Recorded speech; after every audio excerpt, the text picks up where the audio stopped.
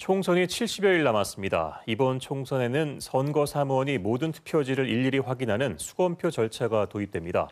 부정선거 의혹을 막으려는 의도지만 그만큼 개표 시간이 더 길어질 전망입니다. 정진규 기자의 보도입니다.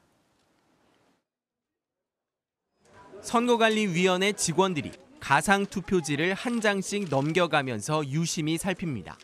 투표지가 후보와 정당별로 정확히 분류된 것을 확인한 뒤에야 심사 개수기에 넣고 집계 절차를 마칩니다.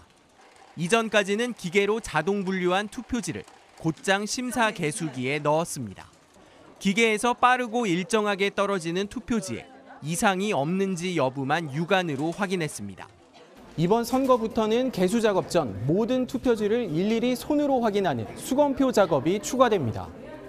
분류기 작업과 선거 사무원의 확인, 그리고 심사 개수기 작업까지 투표지를 세 번 확인하게 된다고 선관위는 설명했습니다. 개표 과정의 투명성을 강화해 부정선거 의혹을 차단하겠다는 취지입니다. 실제로 지난 21대 총선 당시 인천 연수구와 2년 전 경기도 안산시장 선거 직후 특정 후보의 이의 제기로 재검표가 이루어지기도 했습니다. 사람의 손으로 모든 투표지를 한 번 더 확인하는 수검표 과정을 추가해서 부정선거 의혹을 원천 차단하고 수작업이 한 번 더 추가되는 만큼 개표 시간도 늘어날 수밖에 없습니다. 선관위는 선거인 수 등을 고려할 때 충북의 이번 총선 개표가 지난 총선보다 평균 3시간가량 더 걸릴 것으로 예측하고 있습니다.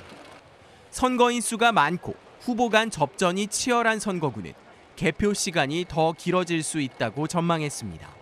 KBS 뉴스 정진규입니다.